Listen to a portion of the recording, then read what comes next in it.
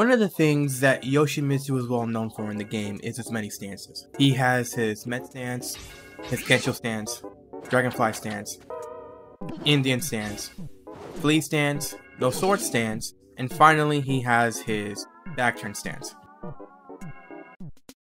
With all of this, he has a plethora of different means of attacking the opponent while in the stances, and while not in the stance in particular, he also has a lot of other moves that he can try using in the neutral or while he's close up to the opponent to then mix up or go for Oki and so on and so forth. Then Yoshi is known for having a lot of safe moves. In particular, he has a lot of safe strings in his kit that a lot of players dislike, like for example he has 1-1, he has 2-2, back 2. Back 2-2 in itself is kind of safe, but seeing that it has a little bit of push block, a lot of the times opponents can't really properly punish him with the 10 frame. And then if you're in your regular stance, it's minus 13, but it's still relatively safe if they don't know when to use a 13 or 12 frame move against you. I see a lot of opponents that don't properly punish this. Then you have your down forward 1, down forward 1 into 2, your back ones, you got your down back twos, down back threes into your fours on hit though. Even even if not on hit, it's still relatively safe on the last hit if they don't know how to properly punish the down back threes. Your down back one isn't really safe, but the issue is that a lot of the players they immediately assume that you're gonna go for the follow up. And the follow up is also negative on block, as well as the first hit as well. It's minus 11 but they don't properly punish just simply because they think that the follow-up is going to be coming out. So you can kind of use this as also a safe option as well against the opponent. Then you have your down forward 4, and you have your down forward 2, which is his well-known 15 frame launcher that's safe on block at minus 7.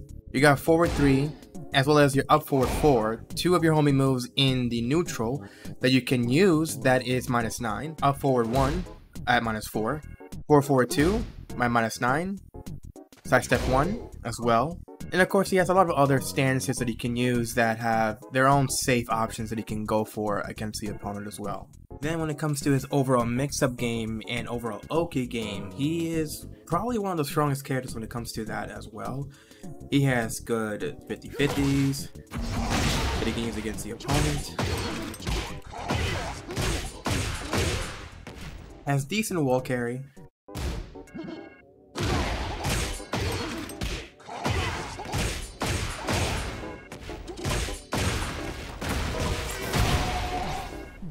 has overall high damage.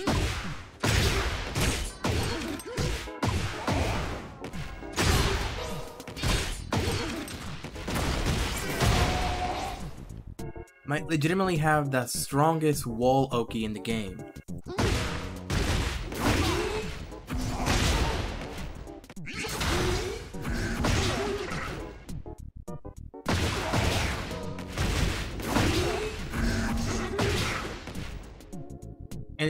Infamously known for his get off me button, the flash, which is 6 frames, and while in the sword stance being 8 frames. Now the two differences of these two moves is that while in your sword stance, you don't have the range, but it's 6 frames, so it's faster than your 8 frame version of your no sword stance flash. But if you do land your flash against the opponent, you get a free back 2-2.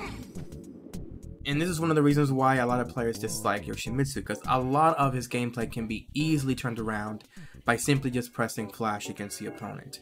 Especially if you're in your no sword stance. Because while you're in no sword stance, you get something bigger. You get a combo.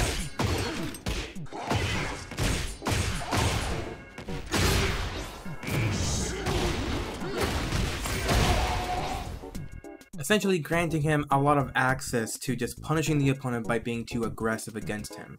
Then he has probably the best evasiveness in the game, like in terms of using Med stance by pressing back and down back, pianoing it.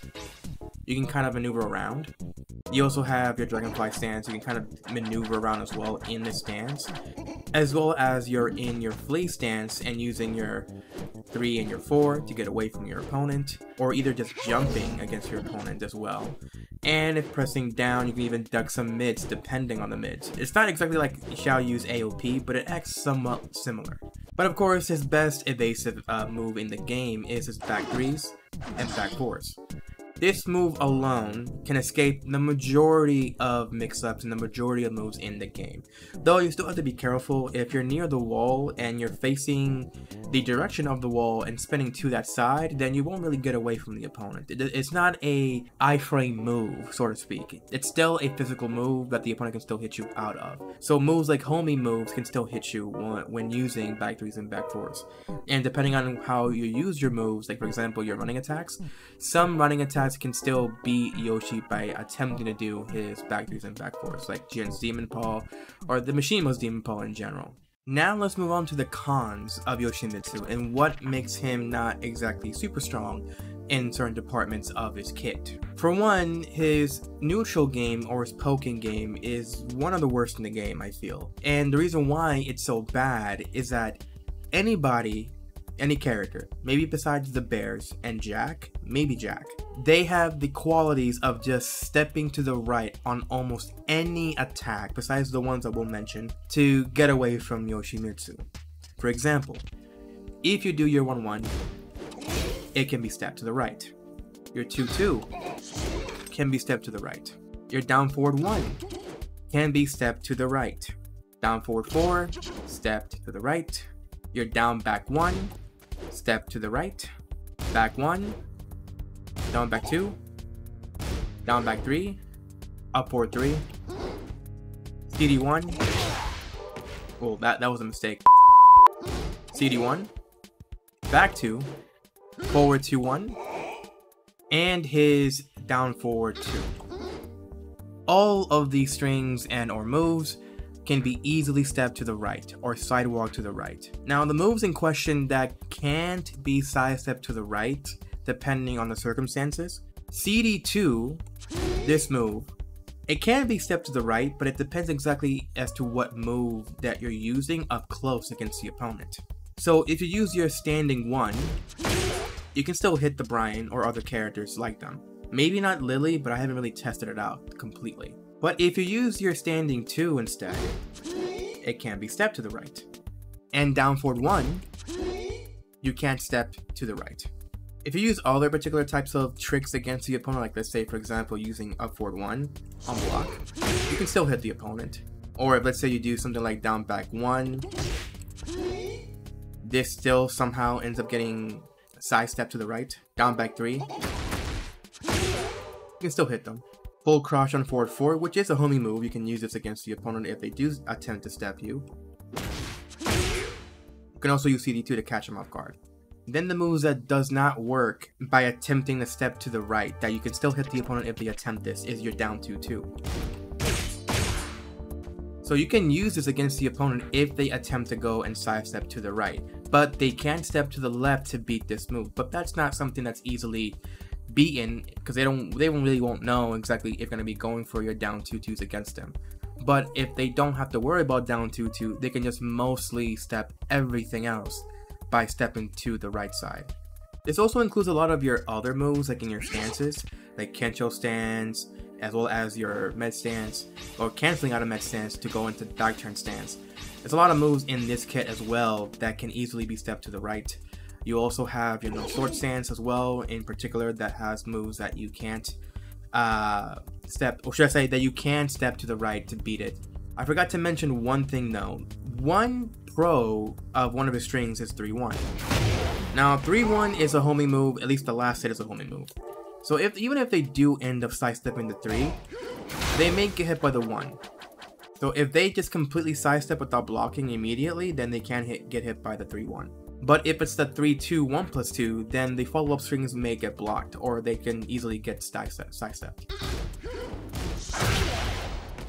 Sorry for the stutter. Then one big negative as well is that because of his back 3s and back 4s, this means that he has to have some kind of giveaway when it comes to his movement. And that is that his side steps are beyond one of the worst in the game, I think. I can't even say it's number one worst, the, the ones that take the cake is Kuma and Panda. They probably had the worst side steps in the game because of their big bodies. But Yoshimitsu probably isn't like maybe fourth place or fifth place worst character to have a side step. because he doesn't even doesn't really have really good side steps. A lot of the times you even see in my gameplay that I tend to complain a lot whenever I attempt to step a move from the opponent only to get hit by them anyways. Even when it's weakest to that side, I still get clipped. And it has to do with the fact that Yoshi has terrible side steps. They designed him this way, in fact, because they want you to use your back using back fours that lose health, but with the overall addition of his no sword stance amplifying his attacks that give him a bit more damage as well as giving him more health in return, then it kind of nullifies the effects of back 3 and back 4, but if you use it too often, then even with the overall health gain from certain moves, it doesn't really make him that strong in the evasive department because you kind of have to play risky just to be able to get away. And the last thing is more of a nitpick. He has the most ambiguous hitboxes in the game, I feel. Whenever he attempts to go for Samurai Cutter, let's say if I try doing it right now, you see the sword um, trace? It seemingly looked like it went to the leg, but it still whiffed. And if I get a little bit closer, right there you can see that the sword trace definitely went through the leg, but it somehow still didn't hit the Bryan. And this is another problem with the particular unblockable as well, that it can be easily sidestepped to the right if you are quick enough to get away from the opponent as you can see right there, you can actually sidestep the move towards the right. But this is if the Yoshimitsu went for the Samurai Cutter and they're still facing the direction that the opponent was at that moment. So you can actually step to the right from this move. Then, of course, the CD1. CD1 also has very weird hitboxes at times because of the sword trace. So moves that look like they should hit like right here it hits pretty well, so it's really no problem with it. But when you're using Kangaroo Kick, for example, as is one of your staple combos with Geho-sen, it whips. And the reason why is that you still haven't touched the hitbox. It seems like the move itself has a lower hitbox up top of the sword trace of the move than it does in the mid side uh, part of the particular hitbox of the move it has more range in the mid area, but at the top area it doesn't. So you kind of have to use kangaroo kick and then time it correctly. Like right there, to land your Geho-sen. But it doesn't mean that there hasn't been moments in gameplay where Geho-sen, even at this certain range where it's perfectly good to use, that it'll still whiff against the opponent, even though it looks like it should have hit the opponent anyways. So then what are my overall opinions on the matter of Yoshimitsu? Do I think that he's S tier? In my overall opinion, just to get it over with, I don't think that Yoshimitsu is S tier. But I do think that he's very strong. He is, he's much stronger in this game than he was in Tekken 7. A lot of useful new tools that he's gained, a lot of quality of life changes to some stances, like for example, full crouch on 4-4 can now go into Indian stance by pressing down 3 plus 4. And the fact that he has also gained like moves like in Flea stance forward 2, he can go into Dragonfly stance and the other quality of life strings, like let's say 3 1, up back 1 plus 2, as well as a no sword stance. Has more range and more, and more push block. And one of his best homie moves on the neutral is his 4 1 plus 2 wall and no sword stance. Has amazing range and is homing. Unlike his shit ass forward 3 and up forward 4, these are the worst homie moves that I've seen in a game in my opinion. They're very slow and easily uh, beatable or interrupted, in my opinion. Then again, you do have your stance versions, like your homing 412 in Kensho, or your Dragonfly 412. Very good moves. So even with all of that, I still don't regard him as to be S tier. Because there's characters in the game that have similar movesets or similar tricks that he has. If there is one thing that Yoshimitsu is king in the game, is his Oki setup. His damage is definitely much higher than Tekken 7, but a lot of characters in the game have high damage. Are we really going to complain and say that Yoshimitsu has high damage while other characters have high damage as well? Characters that don't shouldn't even need high damage like Xiao Yu, Feng Wei, Dragunov, Alyssa or Eliza? Is it Alyssa or Eliza? So when finally Yoshimitsu get a bit of, you know, buffs to his gameplay in Tekken 8, now everybody wants to nerf him. But I understand the reason why they want to nerf his damage. It's because he has so many utilities. You shouldn't really give a character so many utilities while also giving him a lot of damage. That is why I also advocate for Xiao Yu to lose some of that damage as well, and some other characters as well. And then I think another particular reason why players don't like Yoshimitsu has to do with his guard break setup, I think.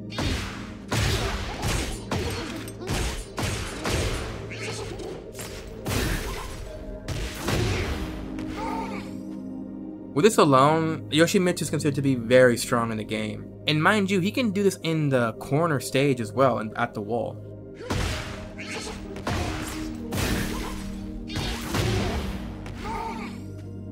Though it is tricky to pull off, so if you manage to get the timing to pull off the Kensho into 2 into 1 plus 2 charge, you can actually catch people off guard with this if they immediately side Okame. And it's even worse while you're in your heat state already.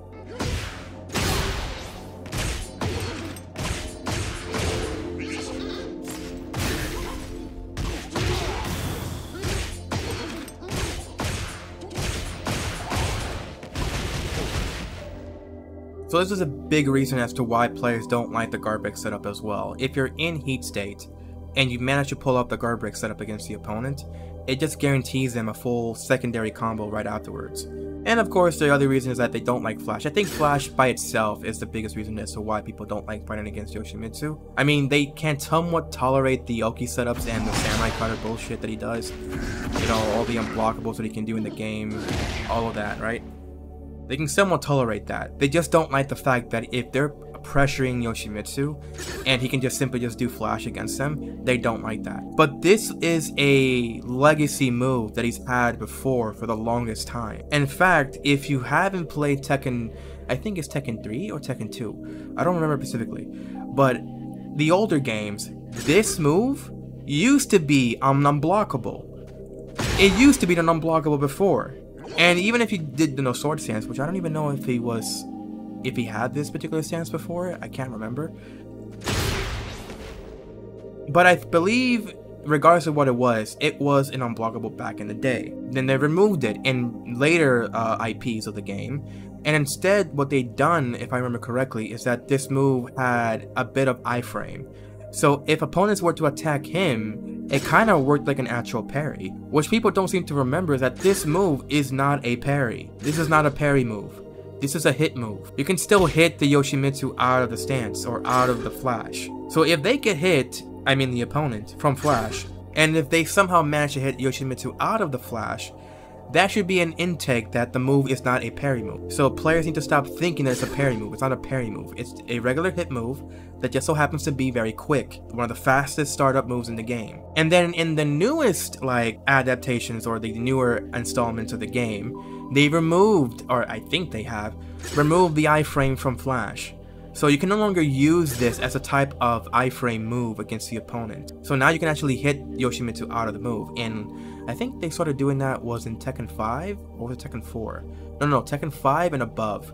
They started doing that. In fact, this move used to have iframe as well, and it no longer does. So again, Yoshimitsu is a strong character, yes. I, I do agree that he's strong, but I don't think it's S tier. I think he's like A tier a plus tier if anything if you know how to pilot Yoshimitsu. But if you don't know how to really pilot him all that well, and you just use the brain dead flowcharts that he has in his kit, then he is definitely, I would say, either mid A tier or below A tier. That's what I think. Because it takes somebody with a lot of understanding of his kit and his stances to really apply the things that he has in his kit but people want to blow it out of proportion because they're getting hit by Flash all the damn time because they're so impatient to getting, you know, their own turn back. So instead of just playing around with the overall skill sets that Yoshi has and figure out an anti-plan against him, they'd rather just spam against Yoshimitsu and do whatever against him. Which is really their fault in the in the end of the day. But again, this is just my overall take with Yoshimitsu because when I whenever I play against a Yoshimitsu player, I don't feel the same feelings that they have. Where I think, oh, I hate fighting against a Yoshi player because he has Flash. Oh, I hate that he does Samurai Cutter uh, at the wall when he has Oki. No, I just think that if you've managed to allow him access to do that to you, that's on you. That's your fault. Because again, I had to go through this myself whenever I fight against a Yoshi player. And in fact, I actually like fighting against Yoshi players. Because there's always something stupid that they'll do funny stupid, not that stupid in terms of like like they're intelligent stupid, but that they do something funny. And it's actually quite, you know, fun to see exactly what a Yoshi player is gonna do against you. Like one of my favorite fights that I had, even though it was very laggy, was against Flashy Mitsu himself. I fought against him and I lost the. I think it was like we had like a five set game together, and I only won two sets against him like two sets, not full sets, but like two sets. But it was stupid laggy. But he was playing phenomenally, even with all the lag that was happening, because he's from the Philippines. I think it's from the Philippines, and I'm from New York, so you can kind of see how obviously it's gonna be very laggy. So yeah, I, I don't think he's S tier. I just think that he's uh, about in the middle of A tier. I think that's what he's he's at. If you look at players like Tracy the Rapper, Flashing Mewtwo, like I just mentioned, Roses Never Cries, uh, Kanan Trench, and I Musician himself, the lord of the Ninja Manji clan. Uh, I just I'm just saying that. Then yeah, I, I can see why players think that he is stupidly strong. But these are guys that are loyalists. These are Yoshimitsu loyalists. All they love to do is play this character.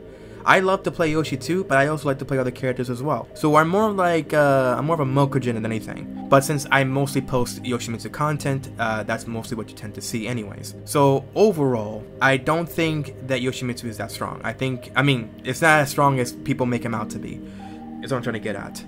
Uh, players need to just learn the matchup more, just like how I tend to uh, eat my own words and I need to learn the matchup against Hwoarang. I tend to fail a lot when fighting against Hwoarang players that are really good, and I always bitch and moan that he is too strong, that he's just too good up close.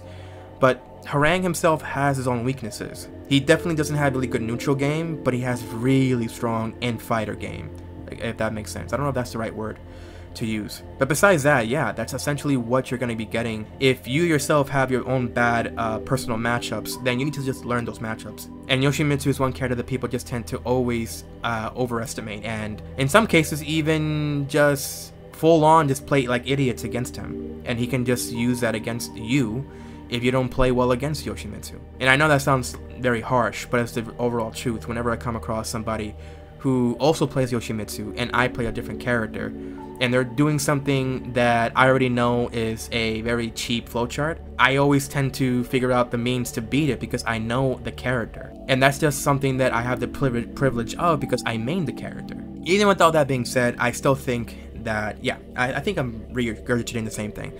You know what I just said. So yeah, but he is strong. He's definitely in the middle of the A ranks. And yeah, that's about it. If you want to know more of my thoughts on the matter of Yoshimitsu, I do want to follow up with something else, but I feel like that's just going too far. In the sense that the video is going to be too long. If you like the video, give it a like, dislike if you want to subscribe and receive more of my shit. Uh, hit the notification bell if you want to be notified of any new particular types of videos that I'll be posting on my channel. Uh, I do also have a Patreon if you also want to support me there. It's only a dollar if you want to support me, and if you want to pay me more, I don't know. You can do whatever you want, baby. And yeah, that's it. Stay safe. Stay tuned.